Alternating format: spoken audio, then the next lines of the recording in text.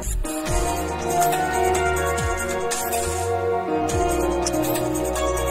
up everybody, we back with another video. Today, I want to talk to y'all about something, man.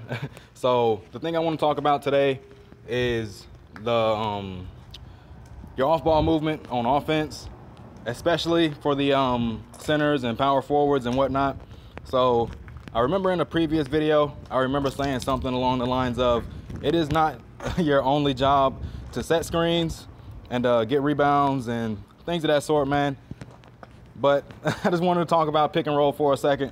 So um, you got people on your team like Fire King, Maggie, all those people with drift shots and so on and so forth, man. Those shooting guards with drift shots.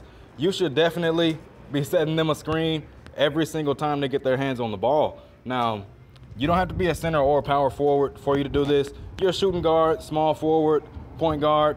You should also be doing this as well. Because if you're just running around like a chicken with his head cut off, bro, and calling for the ball while you have someone on you, now that's another problem that I'm probably gonna talk about in a separate video. As a matter of fact, we're just gonna stuff that into this one, man. So calling for the ball when you have someone on you doesn't make very much sense to me, man.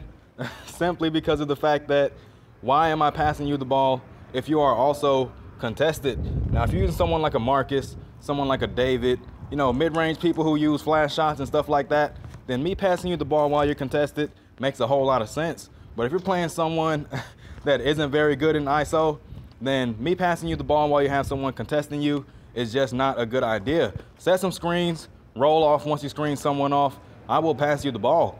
But uh, anyway, back to what we were originally talking about. So um, centers and power forwards, you need to be setting screens for those drift three-point users, man, because they are not ISO-based shooting guards. For example, you got a Mary on your team. She's trying her best to lose her defender, but his defense is strong, bro, and she cannot shake him. You should step out there. You should do something about that and set a screen. Now, if you end up screening off their defender and um, the big that is guarding you decides to stay out there and stick around and guard that shooting guard, you should roll into the rim.